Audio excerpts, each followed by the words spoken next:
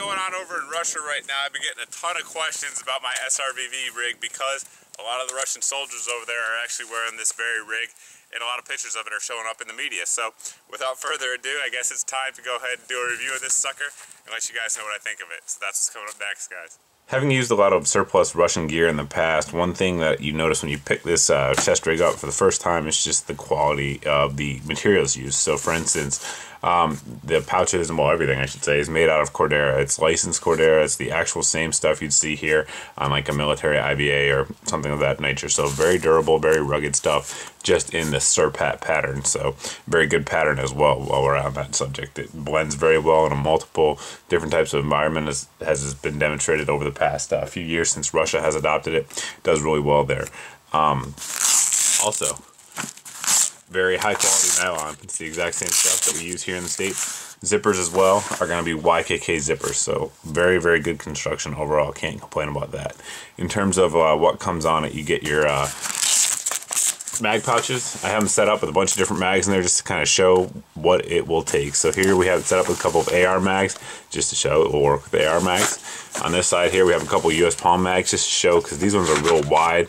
It show that it will accommodate those just fine. Will still close um, and secure those mags in place. On the opposite side, we have a little bit more traditional setup here. We have two AK-47 mags. I believe we have a Chinese and a Yugo mag in there. You can see it does well. Take them out. One thing to point out is if you're using metal mags like you have here, it does have a divider in there which will help stop the clanking and clacking that will happen with metal mags. However, it does have the negative of if you're going to tape your mags up, uh, you can't use it there with that divider. So just something to take note of.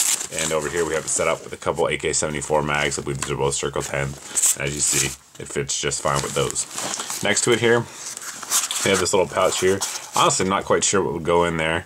Uh, maybe a radio, a small radio, but I'm not sure. Here we have our accessory uh, pouches for grenades or signal flares, whatever you may use there. Also could be used for a compass and maybe even like a tourniquet you could also put in there and it will work just fine. Out front you have your mag pouches, but on the inside here we have these large pockets, and these are on each side, so there's two of these pockets total.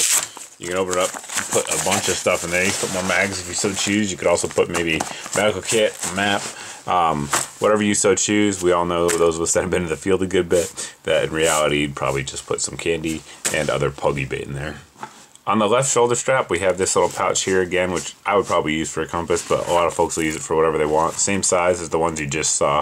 Um, of note, there's also these little straps in here, so if you want to go ahead and run hydration uh, hydration loops through there, you can do so. You can also run radio antennas in there, so that way they're not just sticking out, and you can have them secured down to your body. One thing I want to point out here is this little strap right here, which as you wear it actually sits just below the base of your neck.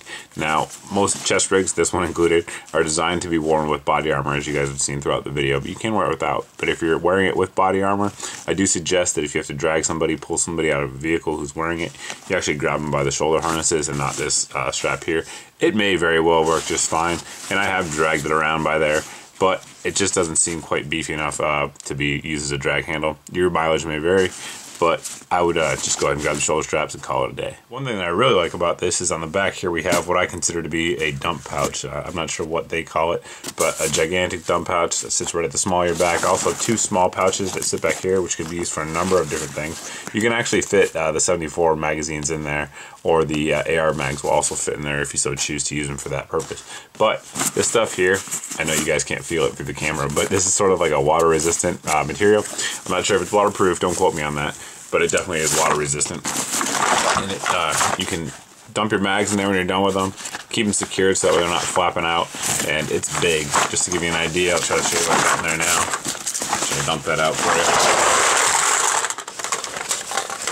you? A boatload of mags. And they were all in there. So, I mean, we got what? Uh, 12 mags that all came out of there. So it's got plenty of room in there. And when it's not being used, you can just secure it down here via the strap tuck all that in, wrap it over, and secure it. Alongside the bottom of the rig is a duty belt. You can take that off if you so choose by just popping these little tabs here off and taking the belt off. But I know a lot of guys do like to run, say, a sidearm or something like that on their duty belt, so the option is there if you so choose.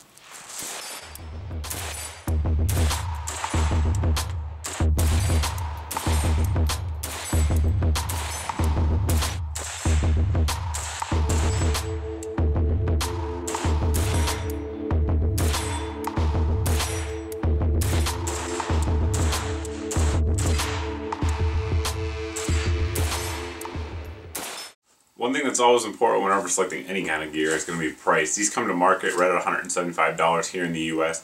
And uh, speaking of here in the U.S., there's only one place to get them. It's Circle 10 AK. They are the exclusive uh, distributor for SRVV gear here within the U.S., which is great because uh, up until about six months ago, there wasn't anybody, and you had to order direct, and shipping was like $90, and it was like four months. It sucked. So glad to see the guys at Circle 10 AK uh, went ahead and got that set up to be the distributor here in the U.S. So that is where you can get them. I'll put a link below in the description so you guys can check that out. Um, $175 chest rig, really not all that bad, especially if you're thinking it has the sort of authenticity of being uh, real Soviet gear, which I know a lot of guys out there like, especially on my channel because we have kind of a Kalashnikov following here.